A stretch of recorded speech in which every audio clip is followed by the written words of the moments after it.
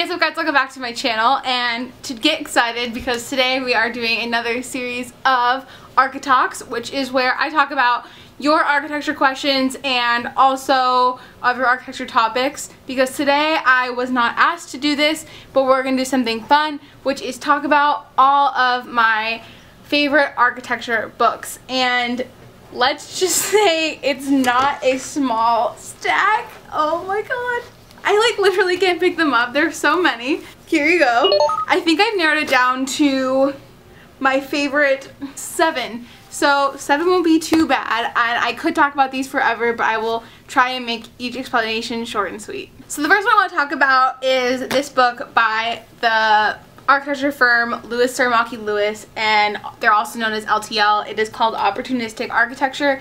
I believe they have a second book as well and I'm talking about this first because it's like the first architecture book I ever kind of purchased that wasn't like required for school um, just because I was super fascinated with their work. And what they're known for are these like beautiful beautiful drawings that incorporate renderings and hand drawing skills. And when I was a freshman, they taught us how to do this in a lecture um, in Photoshop, and it is something that I employed a lot throughout school because honestly I was not the best at rendering um, to begin with. So when I could incorporate some hand drawing and make it look a little bit less realistic, it worked well for me because my renderings didn't look realistic anyway. So I got a lot of inspiration from this book. I've actually read it cover to cover like on a bus one time and there's just really fascinating projects in here. A lot of their projects weren't even actually completed so they're kind of imaginary but they're just super interesting so this is a must read in my opinion or you should check out their website once again they're called Lewis Tsurumaki Lewis and there's really great examples of their work online so like I said, I was required to get a few books um, for school throughout the years, and these are good examples of books that you might want to read if you're kind of new to architecture. Maybe you are an architecture student already and you just want to kind of learn some things. Um, the first one that I use all the time actually is the BCI Building Construction Illustrated by Ching. Ching is a really important architecture um, writer, um, not really writer per se, he's really known for like all of his really clear diagrams. So this book talks about like how things fit together and are constructed. So roof frames, wood construction, expansion joints, masonry, all of that. If you're an architecture student, I'm sure you're familiar with this book, but when I'm modeling something, if I don't know exactly the dimensions or what it's supposed to look like, this is a really great resource to have, and it talks about um, the down to the thicknesses, half inch, five eighths of an inch of what you need to do. So this is definitely a great tool and I refer to it a lot. It's it on my desk and it's awesome. And another book that is also by Ching and also was required for me to buy, I think when I was a freshman, is this one which is the Visual Dictionary of Architecture. So this one has a lot of great diagrams as well but it's a little bit more broad I would say. Like there's broad topics about drawing electricity doors concrete. And for example it's more about the materiality of concrete rather than like the thickness of how much you should pour for like a roof deck. So um, it's kind of more uh, general in that respect which is why it was required for me when I was a freshman because we didn't know anything. So um, this is also a really good resource to have. I have to say I don't look at this one as much as the BCI but it's also a good tool so this book may not be for everyone, but um, I was not required to purchase it, but uh, for a school project that I had in studio, we were designing schools, and my teacher was really um, interested in this book, and we took a lot of our curriculum from it. It's called The Third Teacher, and it's all about designing schools, um, but really like in the 21st century, like very interesting topics that like I think haven't been talked about in architecture before or maybe like not in educational architecture before. And what's really fascinating is that um, one of the co-authors of this book was a firm in Chicago. And my studio when we were doing these school designs we actually got to go to Chicago and meet the firm and take a tour there. And they were Cannon Design um, really really beautiful office and great work. Really they really have like great ideas about how you should collaborate and work in the office. They're very hands-on with sketching and drawing. Um, as far as the book goes, really interesting things. There's just like um, 79 ways to like change learning in the classroom. So like number 15, for example, is to display learning. Like kids should hang their work on the wall. or 30 build close to home so schools should be closer to home.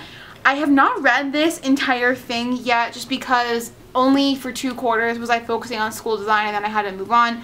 But it's really a great book and I have to say that this book along with the project that we did made me really interested in school design and it's something I'd even consider um, for a career. So if that's something you're interested in, good read. Um, if you can hear a vacuum, I'm sorry. Um, okay, so we're halfway through now, and I have one that's also probably good for beginners, but I have to say it's just a good resource for me to have too.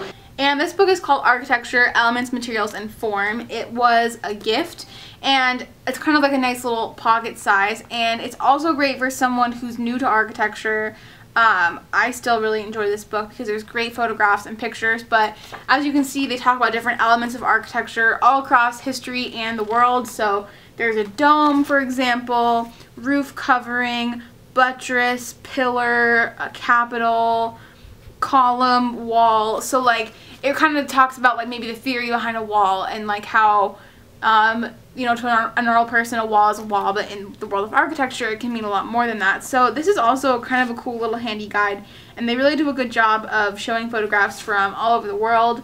Here you see like Milan, Florence, and then this is all Italy, I guess, but there's Japan, LA, France, Rome, Germany, really great examples. Um, there's like these mosques. So all in all, cool little thing that I'm glad to have. It was a really nice gift that I received. And I say the last three here because they are my most recent purchases. The first one is the Building Blog book, which I showed you guys in my June favorites. And um, this kind of intrigued my interest because it was about architecture, but the man who wrote it was a blogger, so I was kind of like excited. And I actually just started reading it last night. I've gotten to page 31 so far, and like, boy, this is to be an awesome read. I can just tell. That sounds like really cheesy, but it's really interesting and there's interviews with Archigram. The way that the guy approaches this book or his blog actually and then also the book is that he takes like three random topics and he relates them to each other through architecture and so far it's really fascinating and um, kind of talks about architecture in like a way that I've never seen it written about before so I'm quite excited to read this and I'm also quite excited to add the blog to like my daily read list of blogs. So, um, so far so good. I really like it.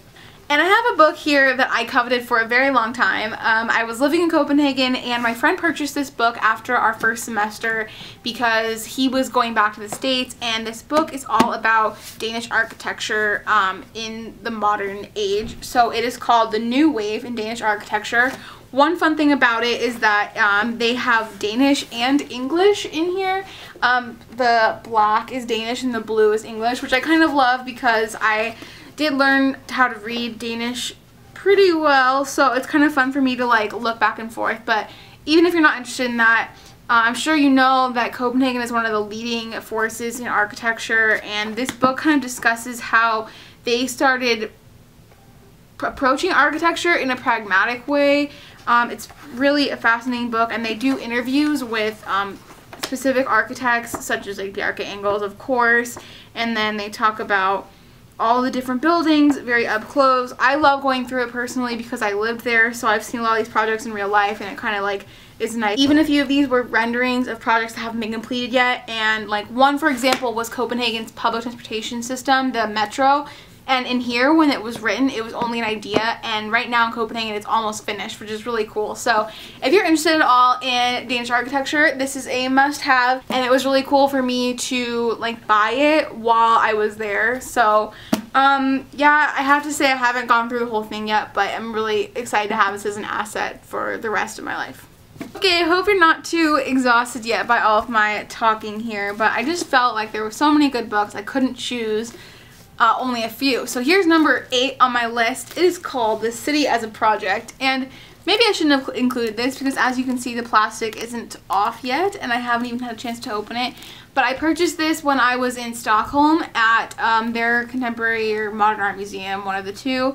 And while I was living in Europe, I became so fascinated with urban planning, urban design, new urbanism, gentrification, all of that jazz, which I think is really fun. Maybe you don't, who knows? and I became so fascinated in that that I'm actually considering doing my thesis on that. So I wanted something interesting to read. This is kind of talking about the city and it's a collection of essays apparently by one guy and why the city is a result of politics and architecture. So it just sounds like a very interesting read. There's also, um, you know what, let's just take off the plastic while we're at it so I can give you a better look. And it should have been off anyway. I can't wait to read this. As you can see, I have a lot to do on my reading list this summer, so I better get started.